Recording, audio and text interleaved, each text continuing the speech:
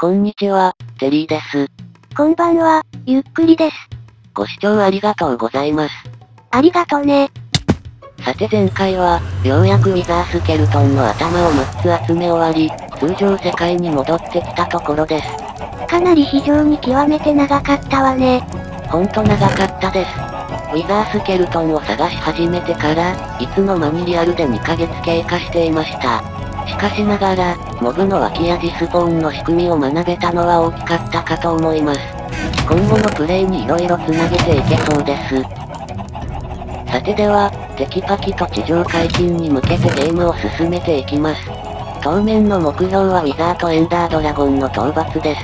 今手持ちの矢の数はワンスタックを超えていますので、ウィザー討伐には多分足りるんじゃないかと思いますが、討伐は初めてなので、正直やってみないとわかりません。ウィキで調べた限りは、体力は300もあるんですよね。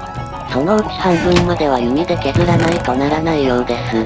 ダメージ増加棒の弓を手にしているので、ダメージは一発につき10程度は入ると思うのですが、当てることができるか、死なないで倒せるか、など、心配事は盛りだくさんです。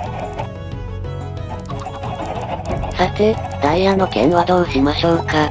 エンチャント付きの剣は2つあり、どちらもダメージ増加3がついています。ウィザーを倒した時に、ネザースターが確実に入手できますかね。え？確実にドロップするんでしょ？心配しすぎかもしれないですが、ドロップしたネザースターが溶岩に落ちたりしないか心配なんです。さてあとはダイヤのツルハシですね。ウィザーの爆撃を避ける穴を掘るとかで、必要になるかもしれない。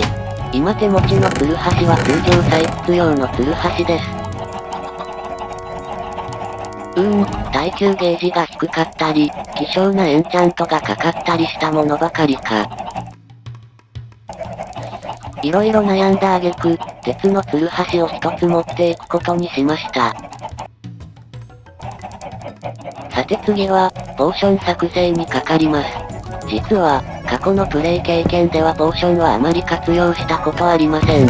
よく使っていたのは俊敏のポーションで、あとはたまに耐火ポーションを使うくらいでした。今回のウィザー討伐で何が必要か考えてみたのですが、自由のポーションがいくつかと、あと再生のポーション1つ、でいいのかな？力のポーションはいいの？早く倒したらそれだけ受けるダメージ少なくなるわよ。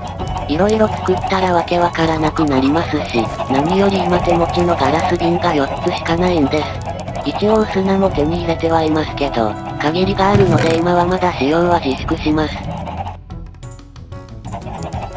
そんなわけで、きらめくスイカを初めて作ります。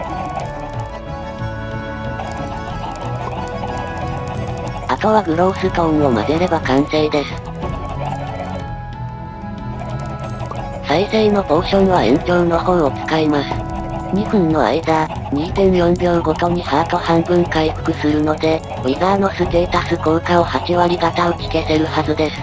自由のポーションと併用して使うので、これで十分でしょう。さて、いよいよ準備が整ってしまいました。超怖いです。ウィザー決戦で選んだ場所に移動します。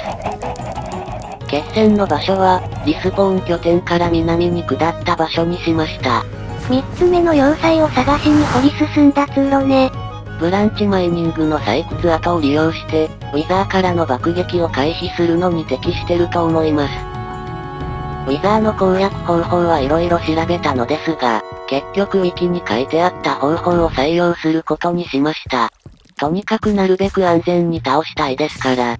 こんなところでエンチャント装備やポーションの瓶をロスとしては、後々大変なんですよね。まだ2体目のウィザー戦が残っているものね。さて、ブランチマイニングの採掘跡を抜けました。かなり緊張します。超怖いです。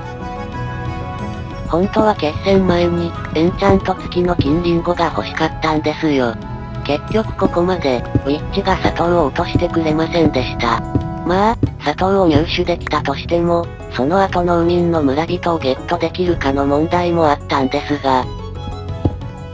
うわぁ、準備が終わってしまいました。もう、やるしかないのか。行きます。あとは頭を添えるだけ。失敗は許されません。逃げろー。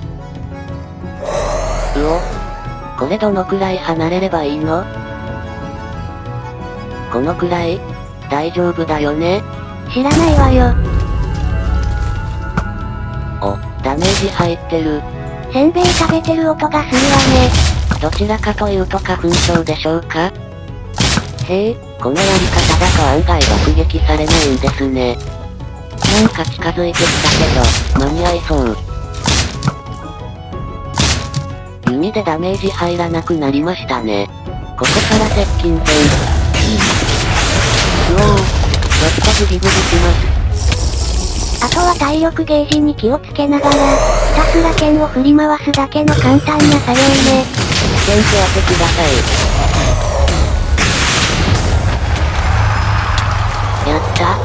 わ、めちゃくちゃえぐられてる。どうやらようやく、ウィザー討伐できたようです。怖かった。念のため、一本言っときます。へえ、ウィザー2なんだ。ウィザースケルトンの時と違って効果時間は1分ほどのようです。とりあえずもう死ななそうなので動き始めます。何にせよ良かったです。エンダードラゴン討伐にはさほど装備はいらないですが、ウィザーはある程度装備固めないと死にかねないですから。ふえ？なんか今、勝手にレッドストーンダストが落ちたような。ダストって塵とか埃のことでしょ。そりゃ風が吹いたら落ちるわよ。それもそうですね。さて、ちょっとまだ気持ちが落ち着いていないですが、エンダードラゴン討伐の準備をします。一番怖いのは、エンドポータルの出口が空中に現れた時ですね。過去のプレイ経験では、出口が空中だった時には2回に1回死んでます。ただしそれは、昔のパソコンの、秒画距離にチャンクでのプレイだった時の話です。このパソコンなら大丈夫かもしれません。あと問題は矢の数なんですよね。ウィザー戦であまり使いませんでしたが、ワンスタックちょっとしかありません。微妙に足りない感じがするので、その分ベッドを持っていきます。ベッド作戦はやったことないわよね。